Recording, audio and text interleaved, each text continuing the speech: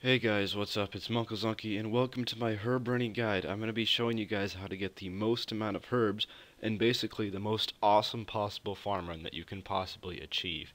So there's several things that you need to get the most out of your farm runs and there are quite a bit of requirements and I'll go over those, some of them in kind of slideshow form here, just showing you guys uh, some basic things that you really want to have and then I'll go more in depth later on and I'll show you a full run and how exactly I go about that. So first of all, I'd recommend 73 plus farming to make max profit with Lantadymes. If you are below 73 farming, I would recommend to do Avantoes, which you need 54. And if you're below that, just check out the calculator in the description. Um, there will be a link to the RS Wiki, and it has a very, very good calculator that updates every day, and it tells you which herb you want to be planting to make the most money. So at the moment, that is Lantadymes, but by the time you're watching this video, that very well may have changed. So just keep that in mind. So how to get bonus herbs, which is more herbs than you would get if you just planted the herb with super compost and picked it. Um, magic secateurs, which come from the Fairy Tale One quest, they give 10% bonus herbs. The Green Fingers Aura from the Loyalty Shop, um, you can upgrade this four times, so you get the original one and upgrade it three times after that. And um, it goes 2.5% more herbs, then 5%, 7.5%, and then 10% more herbs. So it does cost a lot of loyalty points to upgrade, um, but it also has an effect where during the 20 minutes where it's activated, none of your plants can die. And herbs do tend to die, and when you're using more expensive seeds, that's a really handy ability to have because it gives them less chance of dying. But anyway, the next uh, and the more, probably the most important item for farm runs is the Juju farming potions. I do have a guide, which I'll link in the description, on how to obtain the ingredients you need to make the Juju farming potions, and also in that guide I will have all the requirements for the Juju uh, habitat, the herblore habitat, because there is a lot of requirements. Um, not enough space to list them here, but it is in the guide. And finally, some other nice things to have that will really help your profit is if you have completed the Morytania Elite task, that's pretty hefty requirements, but if you have completed the Morytania Elite task system, you can get double Morchella mushrooms.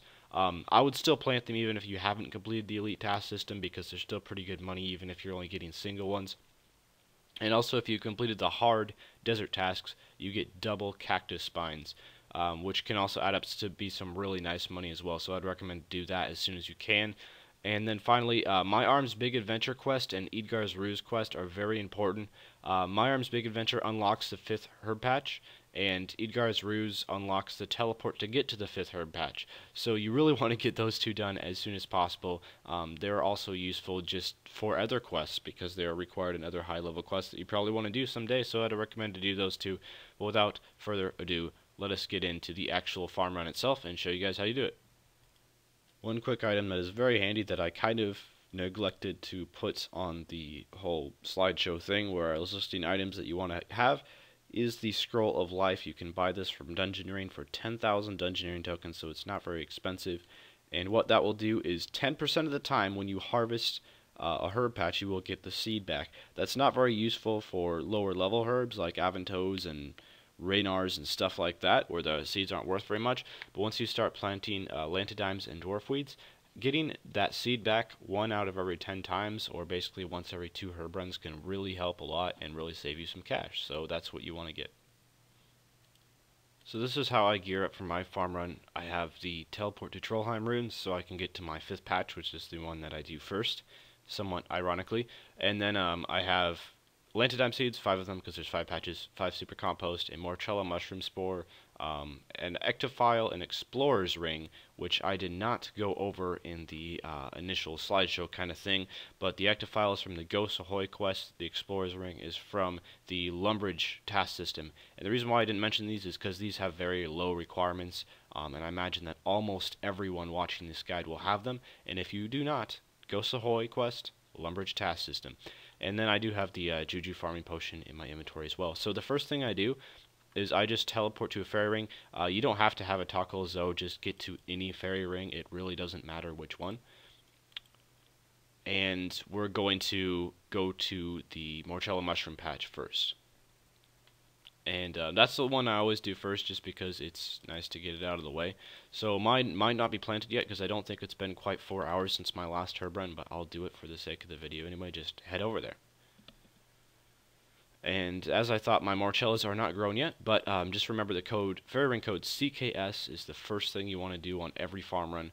Uh, pick your Morchellas. Um, you won't be able to do them every herb run, but once every four hours, pick your Morchellas. And after that, I home teleport to Al Kharid, and we're going to do the cactus patch there and harvest that. And we do get double cactus spines because I have completed the desert hard quest or task. I've completed all the tasks actually, but um, yes, I have done the desert hard, so I do get double cactus spines. And after that, I do always um, do my Trollheim patch first, because that one is the longest one to get to, and you want to make sure that you complete all your patches within the time that your Juju farming potion takes to wear off. So it's quite easy to get the Trollheim patch. It is a bit of a run. Um, there is another teleport spell that you can unlock, but it's on the Lunar Spellbook. Uh, that teleports you straight to the farming patch. But yeah, it is on the Lunar Spellbook, and it requires a lot of Livid Farm to be completed before you can use it. So that's why I don't use that one. But anyway, um, you just want to go to the Troll Stronghold. Um, if you've completed the two quests needed, you've already done the Troll Stronghold quest, so you probably already know how to get here because you do go to this area in the My Arms Big Adventure quest a couple times and just enter the cave entrance. It is a bit of a run, as I said. And it's going to be right up this ladder here, so not too bad. We will survive. As soon as you feel like you're ready to start the herb run, prepare yourself, take a deep breath, drink your potion, and let's go. Let's get these herbs. So the last herb run I had was very disappointing, so hopefully this one isn't. Um, I gotta say the highest herb run I have ever had is I had 81 herbs in one run once. So you can get a ton of herbs. Um, it just really depends on kind of your luck because sometimes your Juju farming potion will just go pro and give you double herbs on every single pick, and sometimes it won't hardly work at all. It does have a 33% chance to get give you double herbs, but that doesn't mean that um, one out of every three times it gives you double herbs. It just means that there, there is the chance that is there. And th since 33 is a pretty high number, um, you do get double herbs quite a bit of the time. And the aura doesn't help all that much with the double herbs, uh, but it is really nice with the fact that it protects your farming patches so they'll never die, which I, well, they will die, but they will not die within the first 20 minutes, and they take 75 minutes to grow, so that's basically like the first one third of their growth time they cannot get diseased, which is pretty nice. Um, I did want to talk about one other thing. Um, I don't do this personally because it just takes up too much inventory space and it's kind of annoying. But if you would like to, you can plant either marigold or uh, seeds in the flower patches while you're doing the herb runs. And that's obviously going to be four patches because you travel to um, four herb patches that also have flower patches next to them. So if you'd like, bring four marigold seeds and also four um, super compost and just plant those in all of the flower patches. And that will get you a little bit extra money. It'll make you an extra like um, 7 to 10k per run. Uh, they do die pretty often, so it kind of depends on that.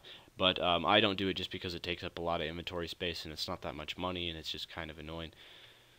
But anyway, uh, picking the final super compost here, or the Falador herb patch, and I am getting bonus XP because I do have the Falador shield, uh, which gives you a slight amount of bonus XP uh, while harvesting anything in this patch here. I didn't bother to list it because uh, it is not affecting the money that you make from herb runs at all. So it's just strictly for the bonus XP. So I have the Ardougne Cape, which can tell you teleport you to the Ardougne farm. But if you do not have the Ardougne Elite task done, uh, you will not be able to do this more than once a day because the um, the cloak, the tier 3 cloak that you get from the hard Ardougne tasks only allows you one herb patch teleport per day. So if you do not have the elite cloak, which I'm guessing a lot of you guys will not, uh, you just want to use the Ardougne lodestone, and it's not that much farther to the herb patch. It just adds another few seconds onto your herb run time, but it still works pretty well. So um, yeah, that's just what you're going to have to do if you don't have the elite task done, or if you don't have even the hard task done. Um, again, this doesn't really affect the money that you make on herb runs. It just adds a few more seconds of time um, of ease of travel if you do have this cape. So the final herb patch is going to be in Catherby, right next to the Catherby lodestone. There is no other way to teleport here faster unless you are on the Lunar Spellbook, which I am never on, so don't even worry about it. The lodestone is very close to the herb patch. Anyway, So it looks like, um, unless this herb died, it's going to be a fairly decent herb run. You can expect about 55 to 60 herbs per run, um, or about 9 herbs per patch doing this method which can net you, um, if you're lucky, up to about 500k per run. But more realistically, it's between 300 and 400k profit per run. That is counting in the fact of the Morchella mushrooms and the cactus spines that you're harvesting as well, um, since you don't really have to spend any money to harvest those because the Morchella mushroom spores are so cheap they're almost free. And the cactus you only have to plant once, and then you never have to plant it again. So anyway, that's about all for this video. Uh, thanks for watching. And uh, hopefully you guys will make a lot more money through your herb runs now that you know how to fully do it. And if you already knew how to fully do the herb runs, thank you for watching anyway. And farewell.